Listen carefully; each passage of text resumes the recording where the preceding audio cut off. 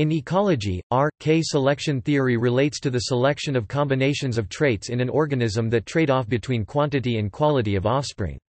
The focus upon either increased quantity of offspring at the expense of individual parental investment of R strategists, or reduced quantity of offspring with a corresponding increased parental investment of K strategists, varies widely, seemingly to promote success in particular environments.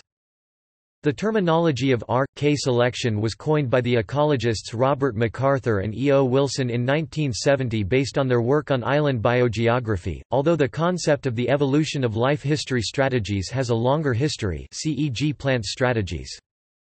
The theory was popular in the 1970s and 1980s, when it was used as a heuristic device, but lost importance in the early 1990s, when it was criticized by several empirical studies.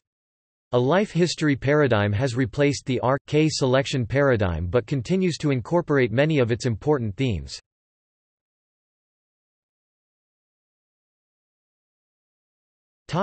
Overview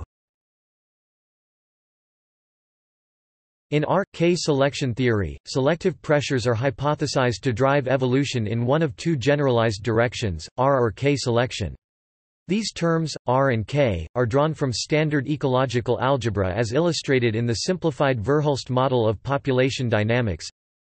D n d t equals r n 1 minus n k Display style frac dn dt equals rn left 1 frac n k right where n is the population, r is the maximum growth rate, k is the carrying capacity of the local environment, and dn, dt, the derivative of n with respect to time t, is the rate of change in population with time. Thus, the equation relates the growth rate of the population n to the current population size, incorporating the effect of the two constant parameters r and k, Note that decrease is negative growth. The choice of the letter K came from the German Kapazitätsgrenze capacity limit, while R came from rate.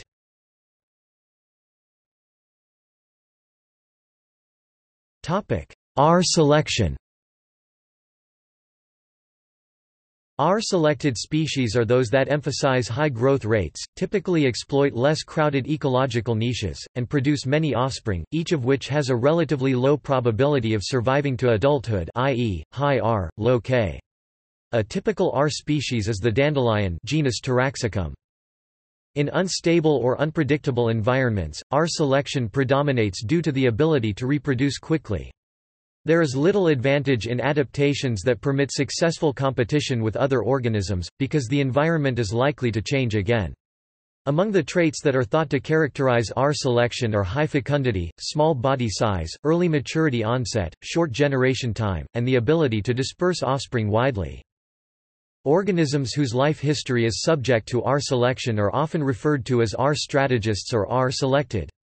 Organisms that exhibit R-selected traits can range from bacteria and diatoms, to insects and grasses, to various semelparous cephalopods and small mammals, particularly rodents. As with K selection, below, the R-K paradigm differential K theory has controversially been associated with human behavior and separately evolved populations.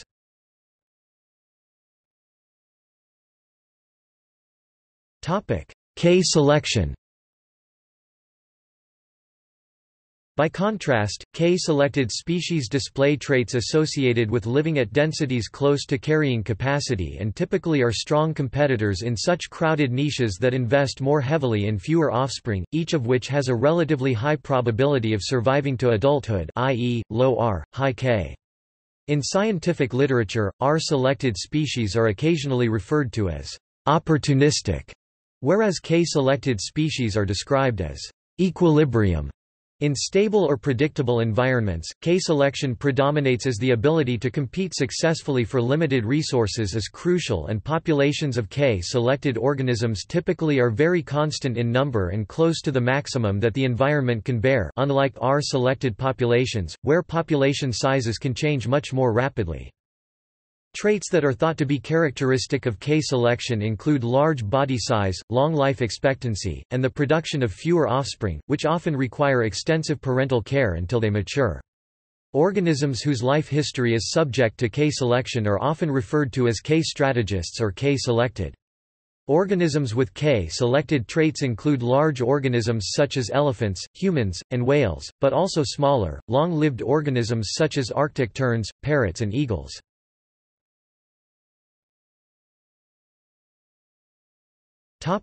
Continuous spectrum Although some organisms are identified as primarily R or K strategists, the majority of organisms do not follow this pattern.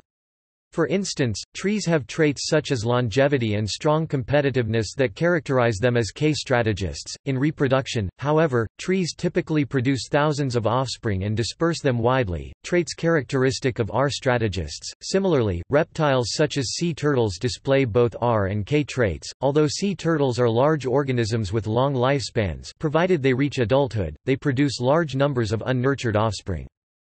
The R-K dichotomy can be re-expressed as a continuous spectrum using the economic concept of discounted future returns, with R selection corresponding to large discount rates and K selection corresponding to small discount rates.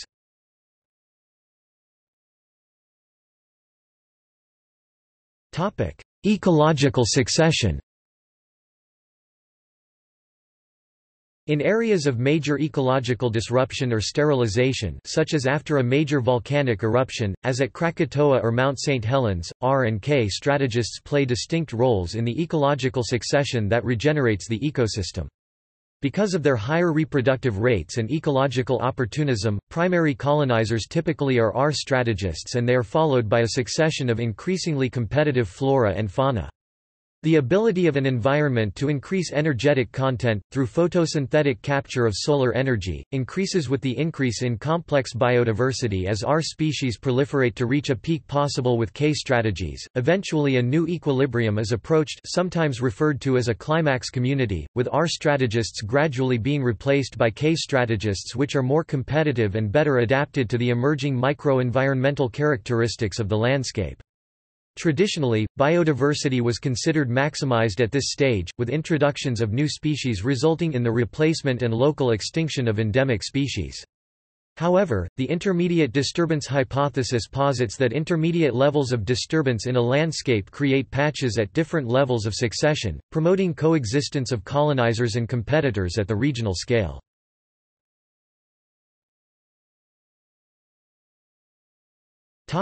Application While usually applied at the level of species, R.K. selection theory is also useful in studying the evolution of ecological and life history differences between subspecies, for instance the African honey bee, A.M. scutellata, and the Italian bee, A.M. ligustica. At the other end of the scale, it has also been used to study the evolutionary ecology of whole groups of organisms, such as bacteriophages. Some researchers, such as Lee Ellis, J. Philippe Rushton, and Aurelio José Figueredo, have applied R.K. selection theory to various human behaviors, including crime, sexual promiscuity, fertility, IQ, and other traits related to life history theory. Rushton's work resulted in him developing differential K theory to attempt to explain many variations in human behavior across geographic areas, a theory which has been criticized by many other researchers. Other researchers have proposed that the evolution of human inflammatory responses is related to R.K. selection.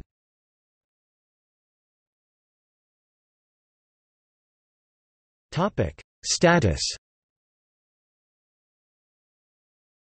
Although R.K. selection theory became widely used during the 1970s, it also began to attract more critical attention.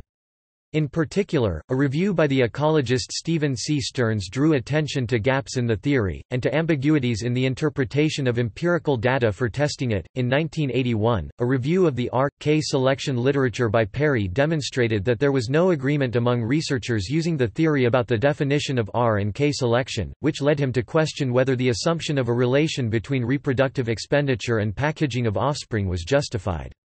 A 1982 study by Templeton and Johnson, showed that in a population of Drosophila mercatorum under K selection the population actually produced a higher frequency of traits typically associated with R selection.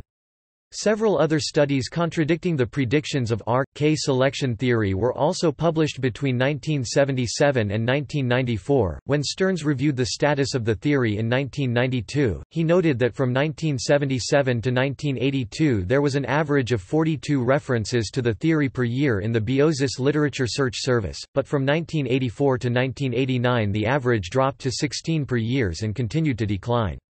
He concluded that R.K. theory was a once useful heuristic that no longer serves a purpose in life history theory. More recently, the panarchy theories of adaptive capacity and resilience promoted by C. S. Holling and Lance Gunderson have revived interest in the theory, and use it as a way of integrating social systems, economics, and ecology. Writing in 2002, Reznick and colleagues reviewed the controversy regarding R.K. selection theory and concluded that the distinguishing feature of the R and K selection paradigm was the focus on density-dependent selection as the important agent of selection on organisms' life histories. This paradigm was challenged as it became clear that other factors, such as age-specific mortality, could provide a more mechanistic causative link between an environment and an optimal life history Wilbur et al., 1974, Stearns 1976, 1977. The R and K selection paradigm was replaced by new paradigm that focused on age-specific mortality Stearns, 1976, Charlesworth, 1980.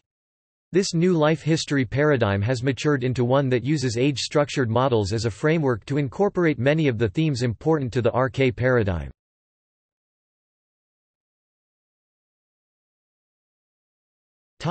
See also Evolutionary game theory Differential K-theory J. Philippe Rushton Semel-parity and iteroparity Ruderal species Trivers-Willard hypothesis Life history theory